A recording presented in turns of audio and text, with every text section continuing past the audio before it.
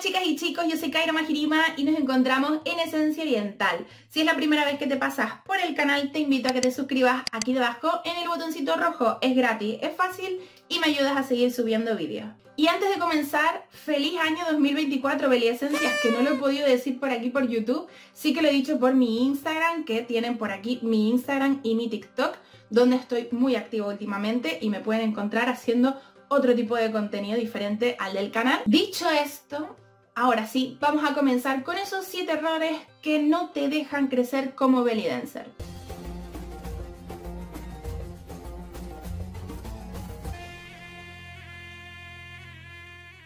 Obviamente son errores que puedes estar cometiendo en cualquier momento de tu vida, pero si estamos comenzando un año nuevo, que menos que tenerlo ya en cuenta, ¿no? El primer error que les traigo es no explorar otros géneros. ¿Cuántas veces has pensado es que siempre hago lo mismo? Es que siempre subo a redes sociales vídeos bailando pop song o siempre mm, tengo en mi mente bailar baladis. ¿Cuántas veces lo has pensado? Muchas, ya te lo digo yo, muchas y te tienes que ir olvidando un poquito de hacer siempre lo mismo. Porque siempre lo mismo aburre no solo al público, sino te aburre a ti mismo. Y también te hace estancarte y no dejar que tú mismo crezcas y conozcas otros puntos de ti. Todos tenemos nuestros puntos fuertes, tenemos nuestros puntos no tan fuertes, tanto en la vida como en la danza. Y esto creo que es algo que mm, mucha gente no termina de explorar. ¿Y cómo exploro yo cuáles son mis puntos fuertes y mis puntos no tan fuertes? Bueno, normalmente lo sabemos. Si hacemos un poquito de introspección, sabemos cuáles son aquellas cosas que tengo que mejorar porque no se me dan tan bien y las cosas que sí que destaco y me gusta hacer y me siento cómoda haciéndolas, ¿no? Pero si todavía no lo sabes, lo mejor que puedes hacer es explorar otros géneros. Con otros géneros me refiero pues con, eh, no sé, baladí, mellancé, percusión, esos géneros que no sueles bailar tanto. Si nunca has hecho una fusión, métete, pero ya, a hacer la que más te llame la atención. Esto es muy importante porque así nos saldremos de lo típico que solemos hacer en actuaciones, de lo típico que solemos trabajar en clase, y creo que nos puede dar una visión diferente de nosotros mismos. Como decía, ya no solo para no aburrir al público, sino para que no te aburras tú mismo y sientas que también puedes hacer más cosas diferentes. En cuanto a tus puntos fuertes, aquellas danzas o aquellos pasos, aquellos movimientos que tú pienses que son tu punto fuerte, puedes seguirlos trabajando, obviamente seguirlos mejorando y seguir aprendiendo de ellos.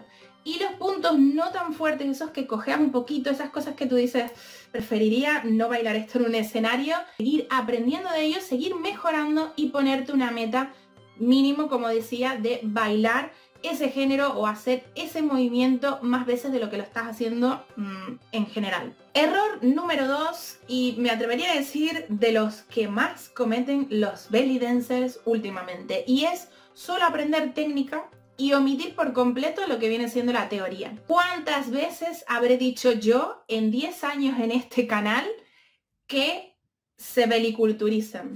Es muy importante bailar bonito, pero yo diría que mucho más importante entender lo que estás bailando. Y no te estoy hablando de entender el idioma árabe al 100%. Si lo quieres entender, oye, maravilloso. Pero si no, tampoco es 100% obligatorio. Aprender teoría es muy muy importante y no solo para que sepas la historia de esos géneros que bailas hoy en día o la historia de X elemento que usas, sino para que también entiendas qué es lo que estás bailando, por qué el baladi se baila con una túnica y hay gente que lo baila con un traje de dos piezas. Eh, ¿Por qué mm, surgió el Saidi?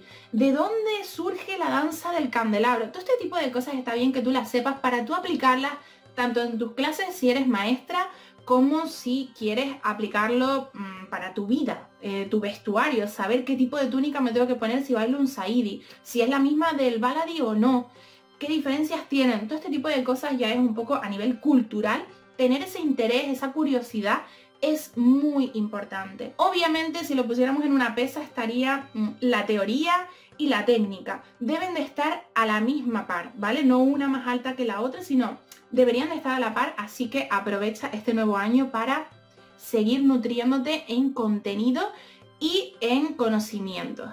Vamos con el número 3. Pensar que las oportunidades llegan solas.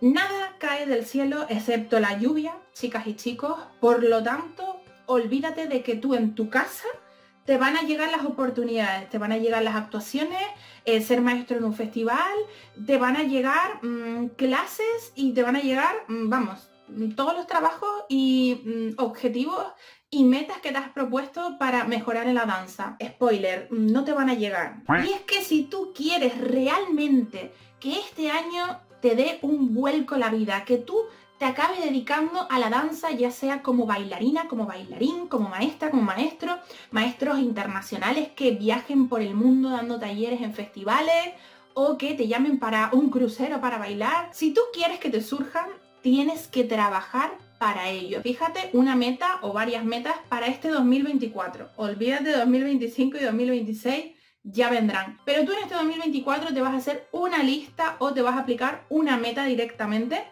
Metas realistas. No pensemos en voy a ser millonaria este 2024 con la danza. Porque al igual no pasa. O al igual sí. Mejorar mm, mis disociaciones. Mejorar mis brazos, conseguir trabajo como profesora en una academia, comenzar a bailar en un escenario, por ponerles un ejemplo, ¿vale? Una vez que ya tengas esas metas establecidas, tienes que tomar acción. Y aquí viene mi segundo consejo. Y es que te crees tu propio portfolio dancístico o tu propio currículum vitae que aunque muchas personas piensen que eso no sirve de nada, te digo yo a ti que eso sí que funciona. A día de hoy se sigue usando el currículum en la vida en general, como no se va a usar en la danza, con lo importante que es para que esa organizadora, ese organizador, esa academia, ese restaurante vea que tú vas de una manera formal a buscar trabajo. Haz un currículum vitae si necesitas ayuda con esto. Tengo un vídeo en el canal que te lo voy a dejar aquí debajo en comentario fijado y también aquí en las tarjetitas para que veas cómo lo hago, mm, te enseño consejos, te enseño cómo hago yo el mío, así que te va a servir muchísimo este vídeo. Una vez que ya tienes esos objetivos claros, que sabes lo que quieres conseguir, que ya tienes tu currículum, tienes tu portfolio, ya sea a nivel físico o que lo tengas a nivel online, que sea para enviar, lo siguiente ya es que tengas contacto. Es decir, busques entre tus contactos amigos, familiares, mm, rollo cercano o conocidos o si te hace falta mm, irte a los restaurantes a buscar trabajo, si quieres buscar trabajo como bailarina o si quieres mm, trabajar en una productora, pues ir a las productoras, ir a los teatros, ir a donde estén los organizadores de los festivales y proponerte todo este tipo de cosas que pueden dar un poquito de vergüenza. Si quieres vivir de la danza, tienes que espabilar. Error número 4, no formarte más y pensar que ya llegaste a tu límite. Cuidado con esto de creernos que porque llevo 20 mm, años, 10 años, 15 años, muchos años bailando, no necesito aprender nada más. Error. Necesitas aprender y mucho. Para empezar, aprender cómo mm, de verdad te estás estancando porque no ves más allá de lo que ya sabes. Es decir, puedes llevar muchos años y saber muchísimo bailando. Obviamente, de teoría, culturalmente, musicalmente, mm, técnicamente, puedes saber muchísimo porque muchos años da tiempo a aprender muchas cosas o no. Entonces, está bien que sepas mucho y que lleves mucho tiempo bailando, pero es que siempre surgen cosas nuevas. Lo digo siempre, surgen cosas nuevas, fusiones nuevas, tipo de música diferente, tipo de vestuario. Mm, surgen tantas cosas que es imposible que no te formes en ellas. Si quieres seguir bailando, mm, tienes que hacerlo. Te guste más o te guste menos, te puedes aplicar más o te puedes aplicar menos, siempre es importante que te formes. Estamos hablando de una danza que por muy antigua que sea, siempre tiene cosas nuevas. Diferentes cosas que te vas a perder si no estás formándote continuamente. Y ya no digo que estés todos los días en clase, en una academia, en una escuela, clases regulares. Si puedes hacerlo y quieres hacerlo, vete a por ello. A día de hoy tenemos la oportunidad tan grande de que nos podemos formar de manera presencial como de manera online, en cursos, en talleres, en clases, en festivales. No desaproveches la oportunidad. Como decía, da igual el número de años que lleves bailando, todos necesitamos aprender, hasta los maestros que tú veas que lleven muchísimo tiempo o que son internacionales, que viajan por el mundo dando talleres, hasta esas personas necesitan clases. Otra cosa es que después no las veas en la academia de tu barrio mm, aprendiendo a hacer un shimmy egipcio. Como digo, hay que seguirse formando, ya sea temáticas que tú conoces o temáticas que te motiven porque son diferentes y nunca las has hecho. Se viene el error número 5 y es un error que es muy a tema personal. Y no digo que sea tema personal de porque a mí me pase y, me lo tengo que aplicar, sino a tema personal de que yo lo veo como un error que algunos belidenses cometen al día de hoy. Ya, vámonos, vámonos, vámonos de Y ese es regalar nuestro trabajo, trabajar gratis, vamos, por amor al arte. Todos los que nos dedicamos a la danza amamos el arte, amamos la danza y nos encantaría bailar 400.000 veces todos los días. Obviamente, en todos lados. Pero tenemos que tener en cuenta algo y es que si tú toda la vida bailas gratis para eventos en general, el día que tú quieras poner un precio a tu trabajo, te va a costar mucho. Y ya no solo mm, a ti mismo que tú digas, ¿y cuánto debería de cobrar por bailar? Ya no solo eso, sino que la gente se acostumbra tanto a que tú les bailes gratis que cuando tú quieras poner precio, esa gente va a decir, uff, pues no cuento contigo, te estás flipando, ¿cómo te vas a poner ahora un precio a tus actuaciones, a tus clases y Nunca lo has hecho. Pues porque llega el momento, llega el momento en el que tu trabajo, lo que tú estás haciendo es un trabajo y por lo tanto tú tienes que llevarte una remuneración de ese trabajo que estás haciendo. Y cuesta mucho, lo sé, esto no es de la noche a la mañana, esto no es algo que es súper fácil de aplicar, lo sé, es muy difícil. Y muchas veces surgen ocasiones, pues una colaboración con una amiga o en la boda de mi prima o yo qué sé, te surge un evento benéfico, pues bueno, ahí cada uno piensa, ¿no? ¿Un evento benéfico bailaría? Hombre, yo realmente sí bailaría, si me motiva la causa y demás y pienso que puedo ayudar, yo bailaría gratis en un, evento benéfico. A pesar de que en otros eventos no bailaría gratis, pero eso ya es mm, cuestión de Gaira Majirima. Como digo, no es fácil poner precio a tus propias actuaciones, a tu propio trabajo, a tu propio servicio y mucho menos cuando es un trabajo para familiares, para amigos, para mm, conocidos. Sé que es muy difícil, pero si de verdad te quieres profesionalizar, en este caso mm, tienes que hacerlo. Error número 6. Comparar tu proceso con el de otros belly dancers y no disfrutar del tuyo propio.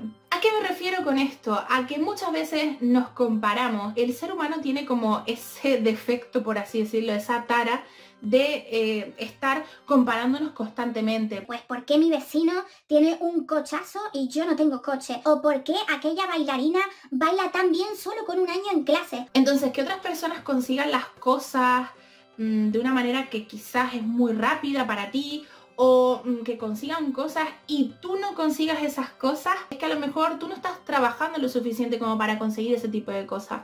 O al igual si lo estás haciendo, pero no es el momento en el que esas cosas lleguen a tu vida. Es decir, disfruta el proceso. Como decíamos antes, ponte metas, ponte objetivos que sean realistas, que sean cosas a corto plazo, que tú puedas ir consiguiendo y puedas ir viendo y disfrutando el proceso. Es súper importante que nosotros mismos disfrutemos cada clase, cada paso que me salió, cada paso que no me salió también hay que disfrutarlo porque es una manera de decir, bueno, no me va a salir hoy, pero mañana me va a salir seguro. O mañana lo voy a hacer un poquito mejor.